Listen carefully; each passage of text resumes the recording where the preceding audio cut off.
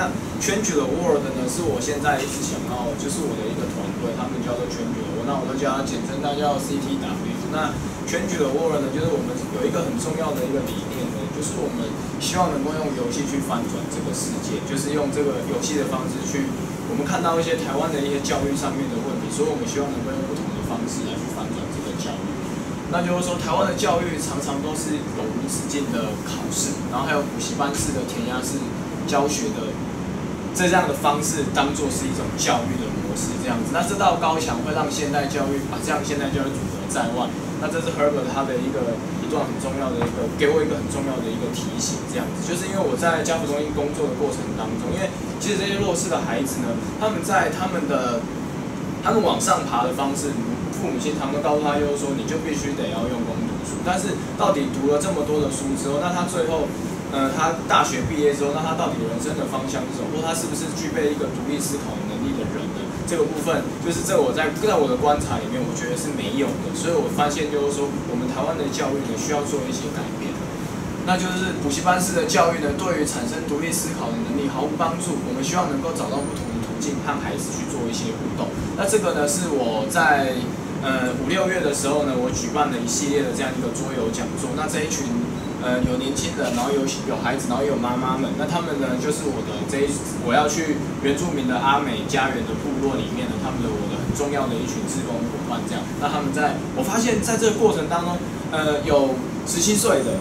然后有四十几岁、五十几岁的阿姨，他们在透过游戏的过程当中，他们可以全部融为一片。然后，而且在这个过程当中，我们想要传达的一些理念跟教材的东西呢。可以很直接的就穿透到这些孩子的生命，哦甚至这些妈妈的生命，哦所以我发现就是说，游戏呢真的是能够做一些很了不起的一些改变这样子。那国际游戏治疗大师呢，他曾经讲过，就鸟飞、鱼游、儿童游戏，那意思就是说呢，游戏其实是出自于孩子的本能跟自发。任何文化中的任何文章、任何文化中的孩子呢，都会喜欢玩。那基本上呢，孩子就是透过游戏。来去学习生活，所以说游戏呢并不一定是浪费时间，它就跟我们大人一样，在透过交流的过程当中，透过沟通、透过讲话的方式去做学习的部分，而且反而呢，游戏呢能够让孩子能够更加的在实际的经验里面呢学习到一些东西，然后能够发展他们的不同的潜力。所以说呢，我的我们的 CTW 有一个很重要的理念，这就是我们重要的宗旨，就是说我们希望能够透过游戏，然后去激发每一个孩子独立思考的能力。并以实际行动去关怀社会，那这个也跟刚刚豪哥讲到的 有些东西是有雷同的，因为在三月的时候，其实有这样一个学运，然后在更之前，其实像多元成家等等这样很多的这样一个社会议题，它在跑出来的时候呢，但是我发现我们台湾的年轻人他们是没有想法，他可能就是哦，他看了新闻，他可能就哦，他就想到这样一个。他可能就被影响了，或者他没有他自己独立思考的能力，所以我们认为拥有了独立思考的能力，他才有办法有具备能够去关怀社会的这样子一个能力。不管是任何的议题都是一样。所以最关键的，其实我刚刚前面讲这么多呢，就是玩。我觉得玩这件事情是非常重要。透过玩的这样一个实际的经验、欢乐的经验里面呢，能够去带来一些不同改变。那这个呢，我们可以在游戏当中可以看到孩子之间的关系。这是我上个礼拜在，呃，在。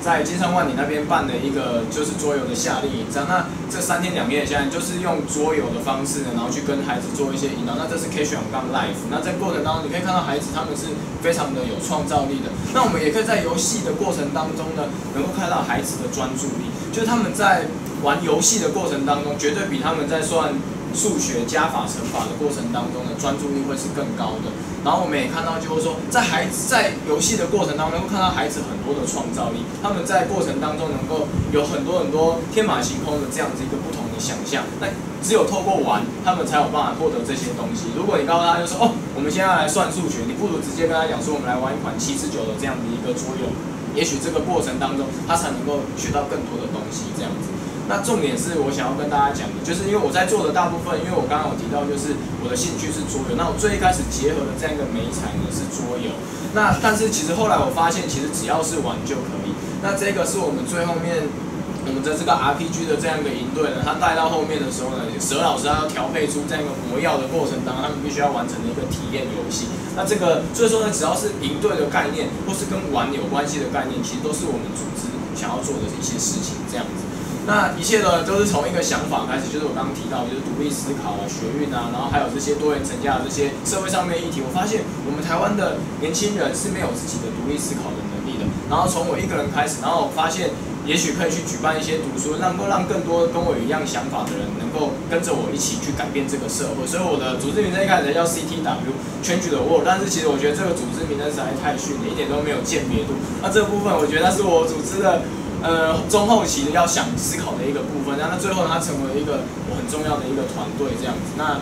这个就是我最一开始的时候，我我我这张这张这张笔记对我来说非常的重要，因为那个是我在一次的午。后呢，然后我在喝咖啡的时候，然后写下来一个，就是我一直想说，我我我一个二十六岁的年轻人，我可以为这个社会去改变什么？发现社会有很多的问题，有粮食的问题，有医疗的问题，有战争的问题，有教育，有饮水、贫富差距，然后还有生态这样的很多很多的问题。那我该怎么样去做？所以我决定要去举办读书会，让大家能够去了解到，就是说我们有很多很多的这样的议题能够去做改变这样子。那也因为这样，我组成了一个一个跟我有一样想法的人，然后每个礼拜三呢，我们会在。我们中心呢，然后去举办这样的一个读书会。那我一直有一个很重要的一个想象，就是说，如果有一天我们的教育能够让孩子自由的去想象，然后大人呢能够懂得用不同的方式去激发孩子不同的想法、不同的学习方式，也许世界会变得不一样。那这一位呢，是我在办，呃五六月在办这样的一个桌游课程的时候，他是一个补习班老师，我们基隆很有名的一个补习班老师的主任这样子。那这两个是他的小孩，他来参加过后，他才发现就是说。他说他从来没有想象到他的孩子会这么样的跟他融为一体，他是用融为一体这样的方式来去做说明。我那时候听得非常的感动。他又说他第一次觉得他自己可以跟自己的孩子这么亲近，而不是永远就只有考卷跟读书这样子的两个部分。而且他发现，在做的过程中，孩子其实有很多他没有看到的这样的一个潜力。那再来呢，要分享两段 TED 的影片，影响我非常非常非常深的两段影片。那我那时候我在五月的时候看到这段影片的时候，全身颤抖，然后就觉得说这就是我的天命。那这个呢是那个 John Hunter 他的一个世界和平的游戏。那因为时间的关系，我就不播放这样一个影片。那等一下呢，我在后面有放一个 QR code，那大家可以扫下来，回去可以花十分钟的时间去看。那总而言之呢，John Hunter 他做的一件事情就是他把呃，War Peace 这件事情的概念，他把它做成一个桌游，然后让孩子去经历这样一个七天的营队，然后让他们去扮演国务卿、扮演总统、扮演国防部长，然后在这个过程当中，每个孩子会二十个孩子，然后每个孩子扮演七个不同呃贫富差距的这样一个国家，有贫穷的国家的国务部长，也有很富有的国家的这样一个总统。那在这个过程当中呢，让孩子去体现什么叫做世界和平。这样，那里面有一些真的非常感动的一些。画面，那大家真的有空的时候可以去看。那第二个呢是 Gaming for Understanding，这这个 TED 呢也影响我非常的多，就是说怎么样透过桌游呢，怎么样透过游戏呢，能够去教导孩子怎么样去懂得别人在思考、在想什么东西，也就是所谓的感同身受、反思力的这样一个部分。那这两段影片呢，就是。就是我非常很喜欢的这个 TED 的影片，那大家呢如果有空的话，等一下我的 PPT 上面可以来扫一下，那就可以去看到这两段很重要的这样一个对我影响很深的这样也。就这两个影片为什么这么重要？是因为我发现桌游或者是游戏呢，他们都是能够着实的在透过孩子的实际经验里面呢，能够去改变这个社会。那最后呢，就是我想要跟大家分享，就是游戏能够改变社会。也许觉得玩，就是我现在在说跟很多的家长在说服他们的时候，就是玩这件事情对他们来说还是觉得没有产值的东西，它是一个嗯没有没有价值的东西。但是游戏确实是能够翻转翻翻转教育的一个很重要的一个媒介。那就是刚刚那个姐姐有讲到，就是说走不一样的路才会到。没有走过的地方，这样子哦，这句话真的也让我非常的感动。是尤姆斯，尤姆斯就是这个社会企业之父，很多人说他社会企业之父，给我一个很大的冲击，就是说，如果要走跟人家一样的路，你永远就只能够到别人走的，就像我的社工，社工领域，如果再继续在我的社工专业继续钻研的话，就是心理智商变得更加的厉害。或者是呃我在会谈的技巧里面更加的厉害，那所以说我希望能够透过不同的媒介呢，能够做到我想要做的一些事情，这样子。那这是尤努斯给我一个很重要的一个提醒。